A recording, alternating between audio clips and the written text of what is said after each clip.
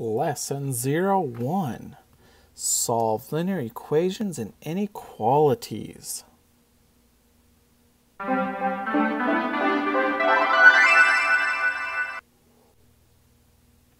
The golden rule is do unto others as you would like them to do unto you. That would be quote from Jesus. And notice it's, you know, just a thought that you're supposed to do others like you'd like them to do to you, not as they have done to you. Just because somebody does something you don't like to you doesn't mean that you can do the same thing to them. What you should do is what you would like to have happen to you. Algebra also has a golden rule, and it is do unto one side of the equation as you have done unto the other side of the equation. So whatever you do, do it to both sides of the equation. A general way to solve linear equations is to get the, all the variables on one side of the equation, and then you get everything else away from the variables onto the other side. Then you end up with x equals your number. But as you do that, remember to always follow the golden rule. If you get rid of 2 on one side, you have to get rid of 2 on the other side. So for our first example, let's try to solve 3x plus 6 equals 0. So we're going to get things away from the x, starting with the things furthest away. Well, the 6 is the close is the furthest away, so we're going to get rid of that first. So subtract 6 from both sides. There they cancel out. 0 minus 6 is negative 6. Now it's 3 times x. To undo that, we'll divide by 3. 3's cancel out. We have x equals negative 2. And of course, you should check by plugging it in. 3 times negative 2 plus 6 is in fact 0. Let's try another one. Solve 2 times x plus 1 equals 5x. Oh, well, here we have x's on both sides, so we need to try to get those together. So first of all, let's distribute.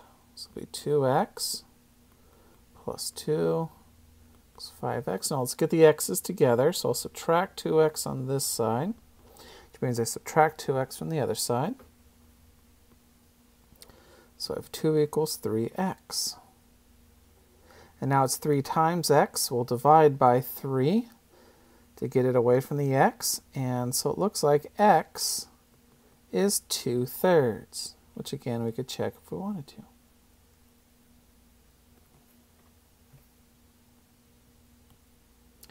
All right, let's solve another one. 4 times x plus 5 is greater than or equal to 16.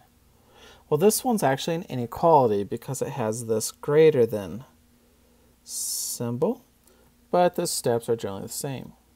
The thing furthest from the x is the 4, so we'll divide by the 4. So it's 4 times that, so we'll divide by 4.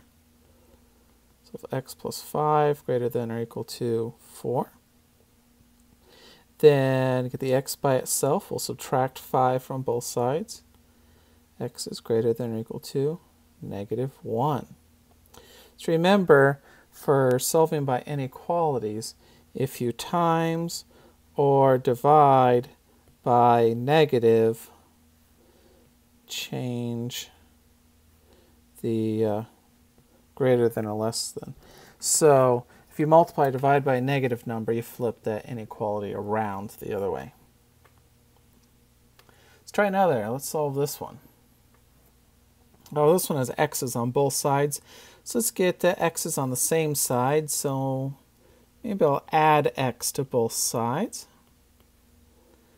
That could be negative x plus 5 is less than 17.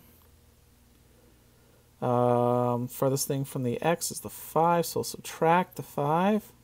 So if negative x is less than 12, then I need to get rid of the negative. So I'll divide by negative 1. I divided by a negative, so that means I need to change the sign. So now instead of less than, it is greater than.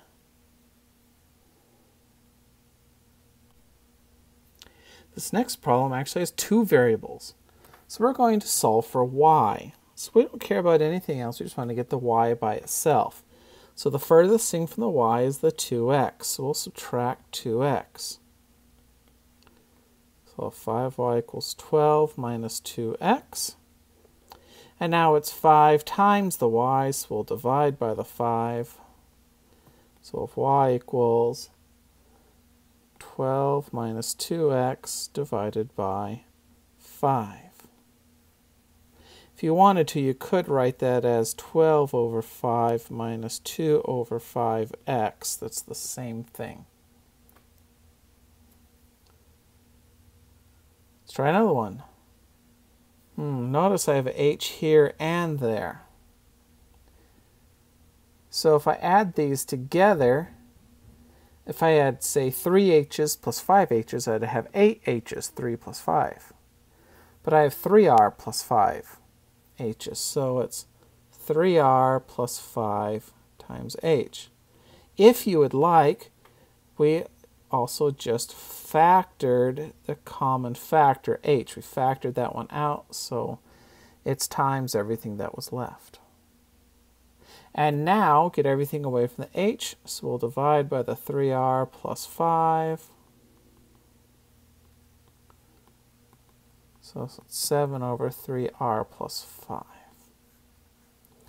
That is not the same thing as 7 over 3r plus 7 over 5. That is not the same. You can split it with the same denominator, a common denominator, but if the denominators are different, you cannot split it. And now, word problem. A real estate agent's base salary is 22000 per year. Well, that doesn't seem like much. The agent earns a 4% commission on total sales. That means they sell a $100 house, they get 4% of that, or $4. Of course, houses aren't $100, they're $100,000.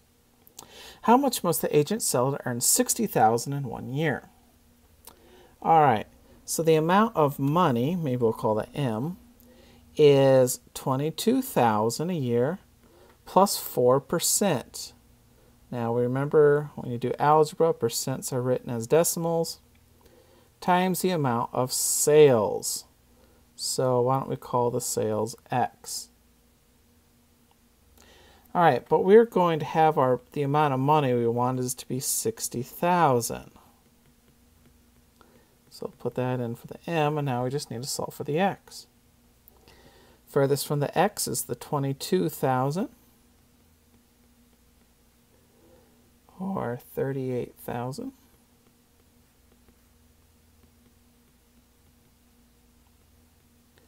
Then we need to divide by the 0 0.04, the 4%.